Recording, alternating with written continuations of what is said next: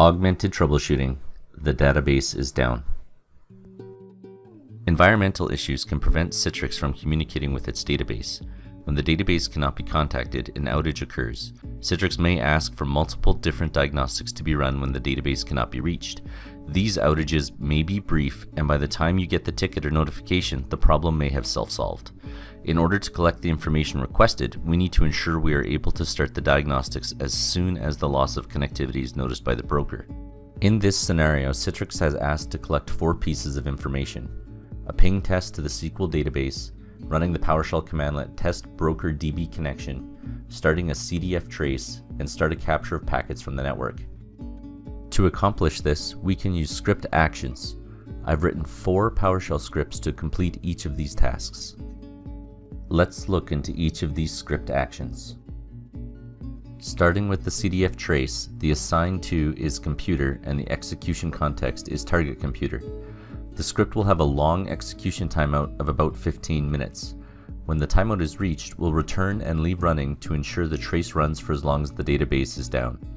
Lastly, do not run if the previous instance is running. This will prevent another trace from trying to execute while the original trace is still running.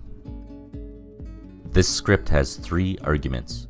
We need to specify the path to the cdfcontrol.exe, path to the CTL file, and where to save the traces. For automation purposes, each one of these requires the default to be specified. Next, we'll look at the ping test and all the settings are the same except for the arguments. We have reduced the number of arguments from 3 to just 1, where to store the result.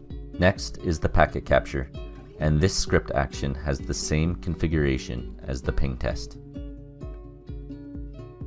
Last is the db test script action. Again, this has the same configuration as the previous two. Now, we'll set up automation by configuring a trigger. The Citrix database down will be triggered by an event.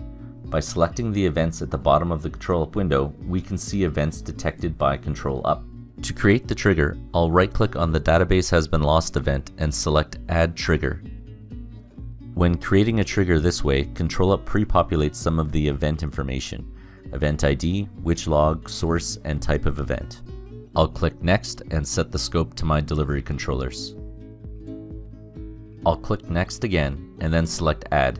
In the follow-up action dialog, I'll change the type to Run in Action and under script name select our first action, DB Test. Click OK, and then I'll continue adding my three other script actions. I'll add packet capture, then the ping test, and lastly, the CDF trace. Now we'll click Next, name our trigger, and finish. Since we will be running multiple scripts simultaneously, we need to do one adjustment on our ControlUp monitor. Open the HKey users key, S1520, software, SmartX, ControlUp, and Monitor SVC. Create a new dword called max auto exec jobs target and set the value to a decimal 10. This will allow a maximum of 10 scripts to run simultaneously. Let's watch the automation in action. I've logged into a Citrix delivery controller where I will simulate an outage to the database. Going over the windows open here, in the upper left I have a command prompt where I will ping the database to witness the connectivity. In the upper right I have my event viewer where we will witness the events as they are generated. In the bottom is the process monitor, which will show us the scripts as they execute.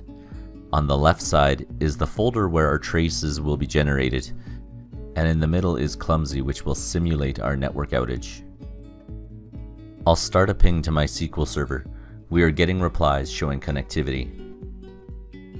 Next, I'll start monitoring in Process Monitor, and then I'll configure Clumsy to drop 100% of all network traffic going to my database server. Clicking Start, we can see the pings are now timing out. The Citrix Broker service has now generated its event telling us the database is down. ControlUp has picked up on this and has started the four actions as detected by the process monitor. Now we can see some of the files are being created in our trace folder. Jumping ahead a few minutes, I'm going to stop the outage. The Citrix Broker service will detect that service is restored and generate an event saying such. Now we can see the scripts completing their tasks and saving the troubleshooting information into our trace folder. Now we can take this diagnostic data and provide it back to Citrix for further analysis. Want to learn more? Visit www.controlup.com.